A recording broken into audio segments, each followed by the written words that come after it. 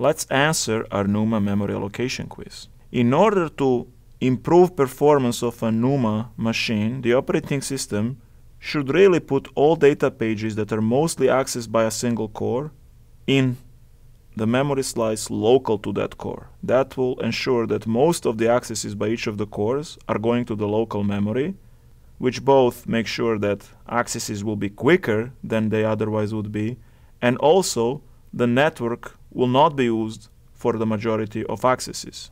So this should be selected.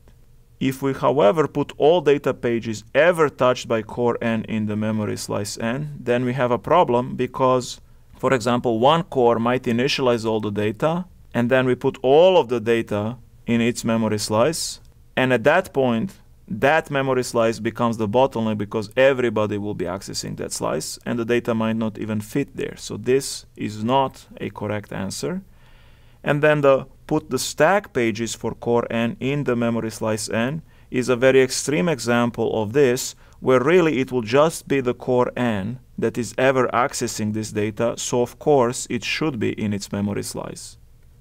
So the stack is one of those things that the operating system can figure out very easily where to put.